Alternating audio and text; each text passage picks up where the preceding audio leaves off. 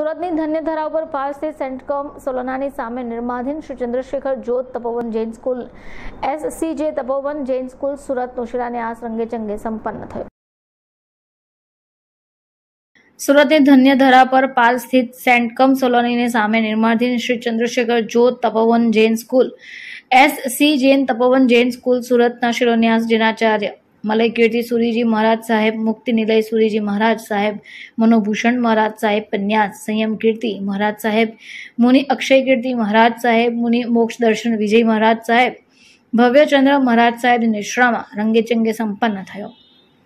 તપોવન જૈન સ્કૂલના પ્રથમ મુખ્ય લાભાર્થી શ્રી રશ્મિનભાઈ કંપાણી પરિવાર, સુરતના સેવંતીભાઈ મારવાડી, ગંભીરચંદ ઉમેચંદ પરિવાર, ભરતભાઈ છાંડો વગેરે મહાનુભાવોએ હાજરી આપી. દાતાઓનું સંસ્થા વતી બહુમાન કરાયું.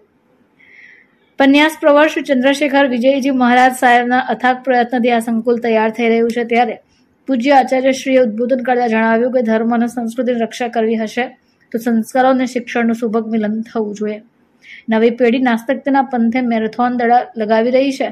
ત્યારે આસ્તિક બનાવવા તપોવન શૈલીની જૈન સ્કૂલ ઠેર ઠેર ઊભી કરવી પડશે. સ્કૂલો સંસ્કારોનો વારસો આપી સંતાનોને બચાવવા પડશે. શિલાન્યાસ પ્રસંગનું સંપૂર્ણ સંચાલન નિકુંજ શાહ સીએ કર્યું.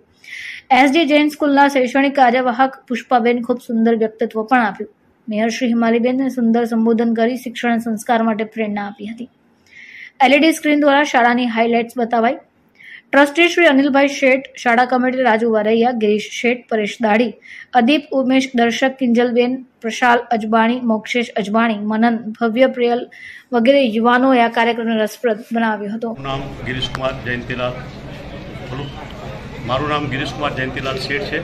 હું ગુજરાત સરકારના સિંચાઈ વિભાગના નિવૃત્ત ડેપ્યુટી નાયબ કાર્યપાલક ઇજનેર તરીકે રિટાયર્ડ થયેલો. અને રિટાયર્ડ થતી વખતે મારા એક અધિકારીએ મને કહેલું કે retired but not not tired અને એ વૃત્તિને મેં અહીં આવ્યા પછી ગુરુદેવને મળ્યો અને મને થયું કે મારો નિવૃત્તિનો કાળ મારે ક્યાં પસાર ત્યારે ગુરુદેવે આશીર્વાદ આપ્યા અને આ સ્વપ્ન મને સ્વપ્ન, આ સ્વપ્ન સાકાર કરવા માટે મેં ખૂબ જ તન, મન અને ધનથી ફૂલ મહેનત કરી છે. રાત દિવસ જોયા વગર મહેનત કરી છે અને આ એસટી જે જૈન તપોવન સ્કૂલના ટ્રસ્ટી તરીકે મેં આ કામગીરી કરી છે.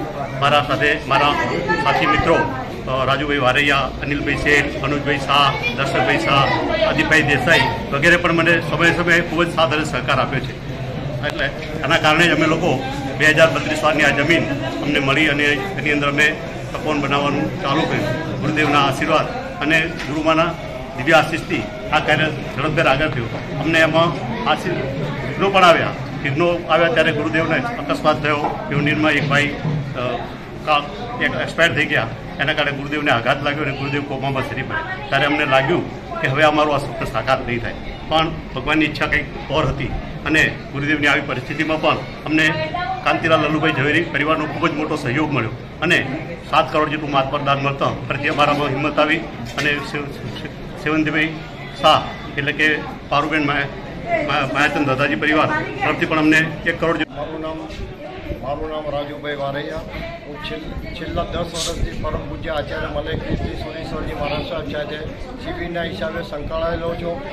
અને પરમ પૂજ્ય આચાર્ય મલય કીર્તિ સૂર્ય મહારાજ સાહેબ, જે સ્કૂલનું એક જેમતથી કામ ઉપાડેલું હતું, એ સ્કૂલનું નામ શ્રી ચંદ્રશેખર જૈન સ્કૂલ તપોવન વિદ્યાલય, જે આજ રોજ એનું શિલાન્યાસ વિધિ થઈ હતી. અને જૈન સંસ્કાર અને એની સાથે ઘડતર થાય એ રીતે સ્કૂલની અંદર બાળકો આગળ વધે અને એ રીતે શિક્ષણ અને સંસ્કાર મળે તે અમારી અખાત પ્રયત્નો છે અને બાળક સારા સંસ્કાર પામે, સારા સંસ્કાર પામી અને આગળ વધે અને શાસનને ભેટ મળે એવી અમારી એક અખાત પ્રયોગ છે. ગુરુદેવનો પણ એ પ્રયાસ છે અને એમાં અમે ધંધાશાલી બુદ્ધ ટ્રસ્ટ પરિવારના ગિરીશભાઈ શેઠ, અનિલભાઈ શેઠ, રાજુભાઈ વારૈયા, કિંજલબેન, ઉમેશભાઈ અને અદીપભાઈ બધાનો સાથ સહકાર છે પરેશભાઈ દાઢી અને એના સાથ સહકારથી અમે આ કામ ઉપાડ્યું છે અને જલ્દીમાં જલ્દી આ કાર્ય પૂરું પૂરું થાય અને બે હજાર ત્રેવીસની અંદર આ કાર્યનું બાંધકામ પૂરું થાય અને સંસ્થાનું સ્કૂલનું સ્કૂલ ચાલુ થાય એવી અમારી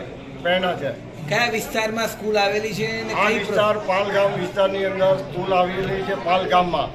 જે કેનાલ રોડ પર આવેલી છે અને પાલથી એકદમ નજીક પડી રહી છે.